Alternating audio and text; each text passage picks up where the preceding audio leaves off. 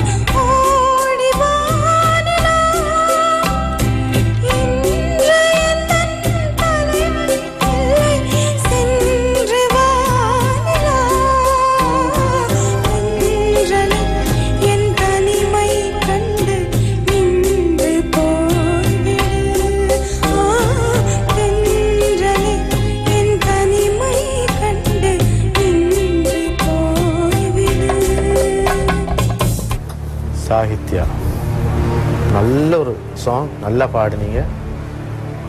எனக்கு என்ன சொல்றதுன்னே தெரியல. கீதா ஏதாச்சும் சொல்லு கீதா.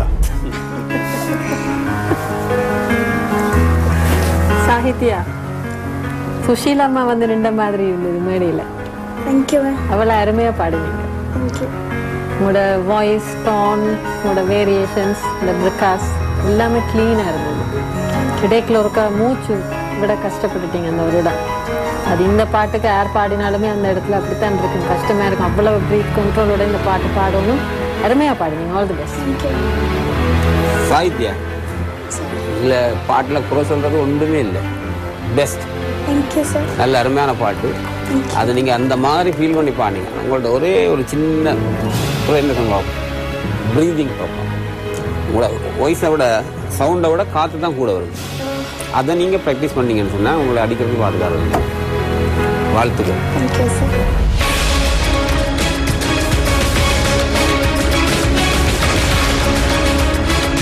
நாளை இந்த வேலை பார்த்து ஓடி வா நிலா அப்படின்னு சொல்லி சாகித்யா ரொம்பவே அழகா பாடிட்டு போயிருந்தாங்க. நாளை இல்ல அடுத்தடுத்த எபிசோட்ல தெரிய போகுது அவங்களுடைய நாளைய தினம். அதாவது எதிர்காலத்தை தீர்மானிக்க போற எஸ்எம்எஸ் வாக்குகள் எப்படி இருக்கும்ன்றது அவங்களுக்கு கூடிய விரைவில் தெரிய வரும். சரி சுஹைல் இவங்க நல்லா பாடி இருந்தாங்களா அப்படின்னு சொல்லி நாங்க எங்களுடைய நேர்கிட்ட கேக்குறதுன்னு சொன்னா. என்ன பண்ணணுமா அவங்க? SMS SMS. நல்லா சொன்னா கேட்க மாட்டீங்களே. சோ சாகித்யாவை பிடிச்சிருந்ததுன்னா இல்ல அவங்களோட பெர்ஃபார்மன்ஸ் பிடிச்சிருந்ததுன்னா நீங்க எஸ்எம்எஸ் அனுப்ப போறீங்க. எஸ்கேஎஸ் இடைவெளி நம்பர் 15 ஒன்று அஞ்சு பதினைஞ்சு டைப் செய்து டபுள் செவன் டபுள் எயிட்டுக்கு அனுப்ப போறீங்க. சோ அடுத்த பெர்ஃபார்மர் யாரு? சரி ஓல்ட் இஸ் கோல்ட் இந்த ஸ்பெஷல் எபிசோட்ல வந்து ஆரம்பித்த இரண்டு